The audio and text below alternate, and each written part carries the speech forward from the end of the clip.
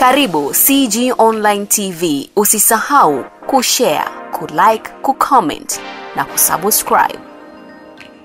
Askari polisi wetu walikuwa kwenye kazi za kawaida za doria za trafiki.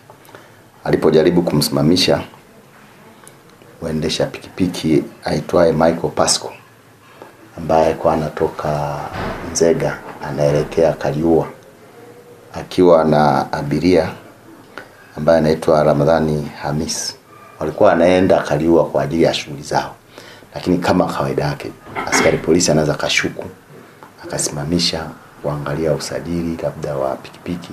Kwanza wengi sana kuna taarifa za pikipiki kuibiwa, na hata mahali popote akiwepo, hata kama imesimama inabidi yani.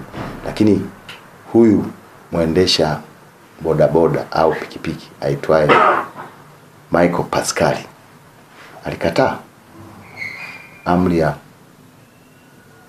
ya askari polisi ya, mpaka kabidi aombe msaada kwa askari wengine walikuwa mbele yake tu, na ikafanikiwa akakamatwa.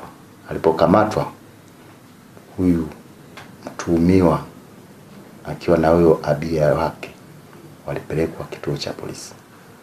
Walipopelekwa kituo cha polisi, kawaida kituo cha polisi kabla ya kufanya kitu chochote, hata wakati mwingine kuna upekuzi mara unapokamatwa, na pia kuna upekuzi wa mara ya pili unapokwenda kupelekwa mahabusu. Kwa hiyo kwa kuwa alikuwa amefanya fujo pale, ilikuwa sio rahisi kumpekua mara moja sehemu zile ambazo walikuwepo hata watu. Maana tukio limetokea kwenye saa kumi tarehe mbili mwezi wa kumi na moja ambapo ni watu wapo na mpaka anakamatwa anapeleka kituo cha polisi, watu wapo.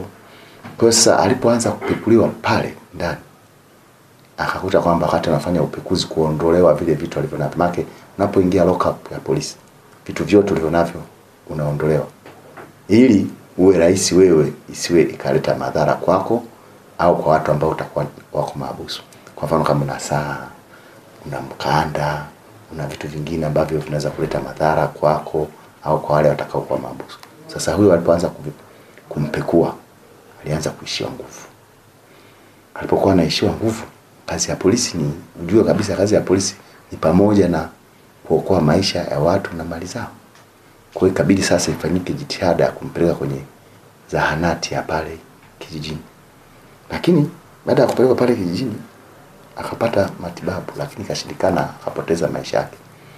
Sasa ukiangalia pale zahanati ya kijijini, kawaida ya jeshi la polisi halikubali mtu apoteze maisha bila kujua chanzo au kina Kwa ikabidi sasa lazima tupeleke kwa wataalamu ili wafanye uchunguzi wa kina wa kitaaluma sasa wa kitabibu.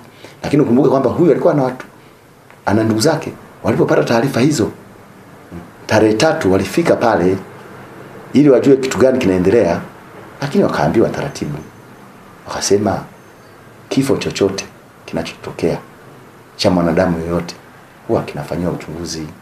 Kwa hiyo hii tutaenda kufanya uchunguzi wapi? Tabora, ambao kuna hospitali ambayo ina wataalamu. Ndugu zake wakakubali, kwa wengine wakaenda kule kwa ajili ya kuendelea na taratibu zingine, na wengine wakaja hapa Tabora. Kwa hiyo tarehe mbili kuamkia tarehe tatu walilala hapa. Kwa hiyo asubuhi tukafanya sasa utaratibu. Kwanza lazima wawepo ambao wataitambua sasa ile maiti, lakini ukizingatia alikuweko na abiria, kwa hiyo naye abiria naye akaletwa, na katika tuhumu, unapomtuhumu huwezi kumtuhumu mmoja tu, na yule abiria naye lazima. Kwa hiyo maelezo yakachukuliwa na abiria. Lakini kitu ambacho naona nipende kuambia umma, tulipofika pale hospitali tulifanikiwa kufanya uchunguzi wa mwili wa marehemu eh, baadaye wakakabidhiwa ndugu wa marehemu ili waendelee na taratibu za kufanya mazishi. Kwa ni imani yangu sasa, kwa kuwa aliondoka jana, huenda leo ndo amefanya mazishi kutokana na tukio lilopata, lakini uchunguzi unaendelea. Maana ukishafanya uchunguzi, kuna taarifa mtaalamu atailetea polisi, tuangalie chanzo na kifo cha huyo.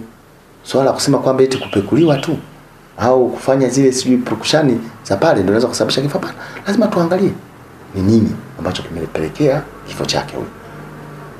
Nchi yetu inaendeshwa kwa, kwa, kwa utawala wa sheria na sisi tunatumia utaalamu. Sisi tunafanya kazi kwa weledi na utawala wa sheria. Kwa hiyo ni imani yangu kuwaambia umma kwamba jambo hilo linakushughulikiwa kisheria na wala asiwe na wasiwasi. Na sio hayo tu, nilipoingia pale mimi nikuta kuna wengine boda boda alikuwa anaenda huko ameparamia mti amekufa, nao tunafanya postmortem. Kuna mwingine amegongwa amekufa.